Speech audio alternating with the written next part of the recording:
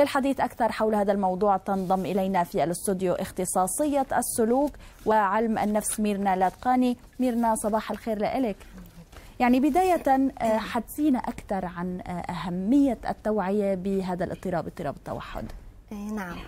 عادة كل سنة عم بيزداد أكثر الاهتمام والتوعية.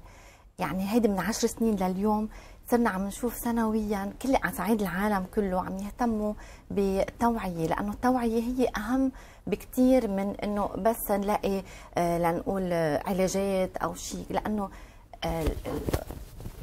عادة المجتمعات وقت تكون عم تتقبل أي شخص عنده اضطراب توحد عم يزمجوه بالمجتمع أكثر عم بيصير الأهل كمان وقت بدهم يعرفوا يقدروا ينتبهوا إنه إذا طفلهم عنده توحد أو لأ.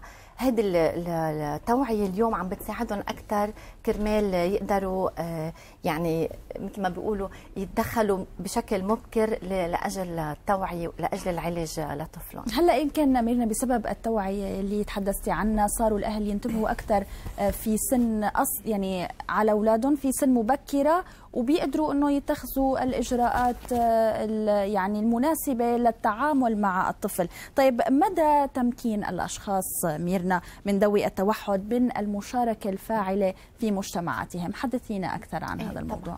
هلأ لما بيكون في تدخل مبكر للطفل وعم نساعده إنه يقدر يندمج أكثر بالمجتمع بمعنى يقدر يتواصل أكثر نساعده إنه ننمي له تواصله اللغوي والغير لغوي كمان.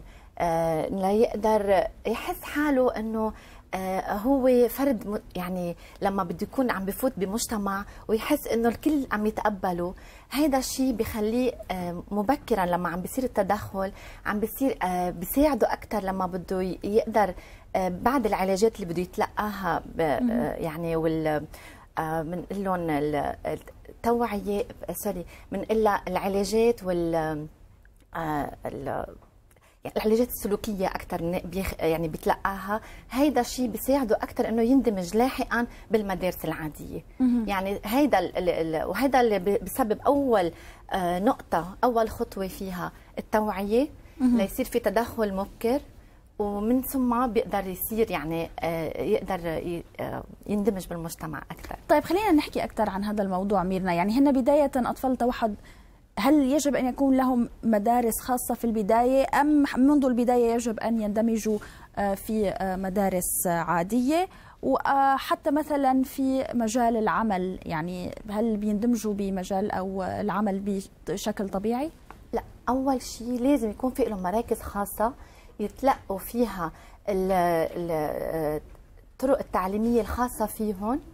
لما ينحس هذا الطفل صار مستعد إنه يندمج ويفوت على المدارس الخاصة اللي هي حتى المدارس هيدي المدارس سوري العامة اللي هي كمان مستعدة إنه تتقبل هذا الطفل.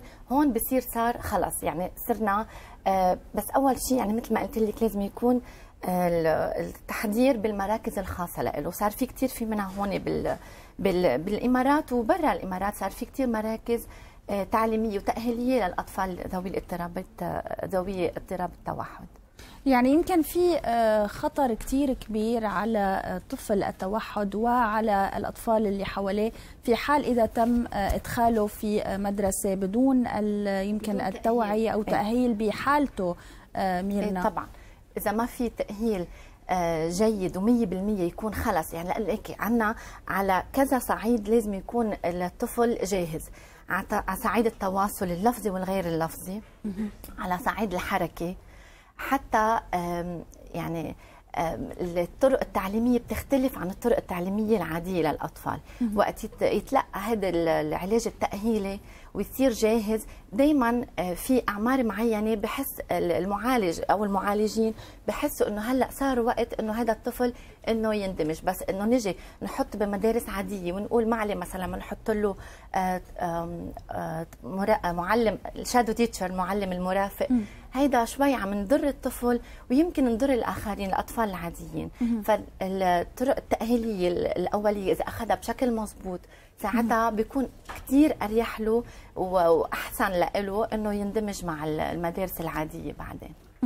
طيب آه خلينا نحكي شوي عن المنزل. يعني آه تنمية مهارات الطفل تأهيله أكثر آه مساعدته لحتى يكون يعني من يعني يحس حاله أنه هو ما بيفرق عن الآخرين بأي شيء.